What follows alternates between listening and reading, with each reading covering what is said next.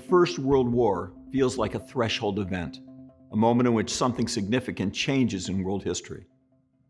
Now, this may be because of the drama and tragedy of millions of deaths, but it may also be because something irreversibly changed with the events of the First World War. It ushered in a new and different era on a global scale. Now, we can explore these changes and how transformative they really were by looking at the conflict of 1914 through 1918 using the course frames. For example, we see some huge changes in the way people organized their communities after the First World War. Some huge states, like the Ottoman and Austro Hungarian empires, broke into smaller countries. Many of these new countries were supported by a form of ethnic nationalism.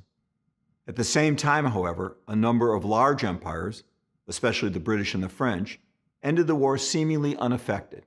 In fact, they were even enlarged as they acquired the colonies of the defeated states, such as Germany. Yet in many places, people's attitudes towards the state changed. Disillusioned by the war, people in some countries lost their faith in government, rules, and even organized religion. The First World War was also a threshold in terms of production and distribution. Many historians refer to it as a total war.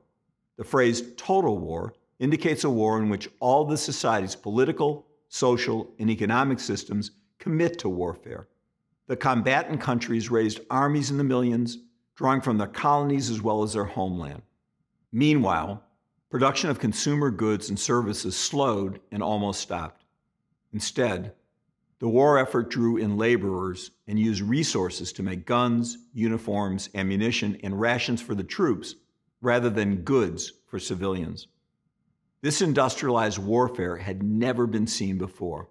This total commitment to warfare caused enormous casualties on the war front and deprivation at home. In at least one place, Russia, this effort completely discredited the economic system. So much so that people overthrew it and replaced it by a new socialist system called communism. Yet, not everywhere experienced such large economic change. In most places, the economic system continued much as it had before 1914. Similarly, the First World War diminished the global networks overall. During the war, of course, the exchange of ideas between opposing powers nearly came to a halt. People had less ability to travel. Communications were censored and carefully watched. And distrust broke apart relationships across the battle lines.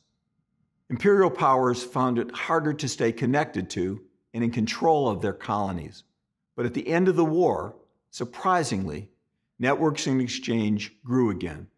Relationships, from the diplomatic to the personal, resumed quite quickly. Colonialism was rapidly reasserted. The question remains was the First World War a real transformation or just a brief blip that interrupted the human story? Or was it something else? Not a transformation itself, the beginning of something massive and important.